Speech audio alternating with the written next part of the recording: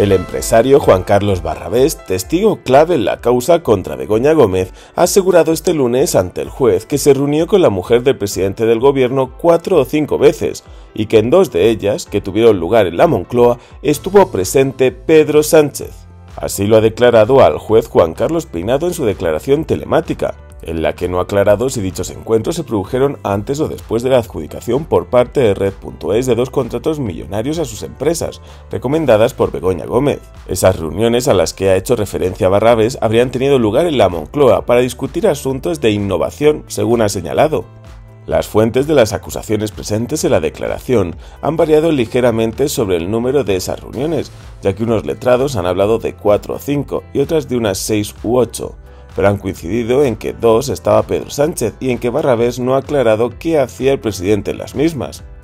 Los letrados de la acusación popular han adelantado que se reunirán esta tarde para valorar si piden que los dos testigos que han declarado este lunes pasen a ser investigados ante los indicios en su contra.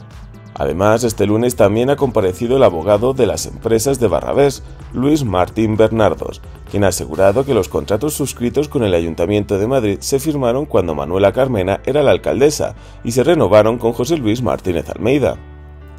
Ha detallado igualmente que coincidió en dos reuniones con la esposa del presidente del gobierno, una de ellas en una plataforma para el desarrollo de pymes y después en el máster de la Universidad Complutense que patrocinaban Gómez y Barrabés. Precisamente en esos cursos acabó dando clases, actividad que concluyó en 2022 cuando fue despedido.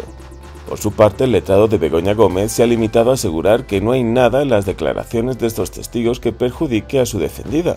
Y puede que tenga razón el letrado. Begoña Gómez con estas declaraciones no se ha visto afectada, ya que no se ha dicho nada nuevo sobre ella.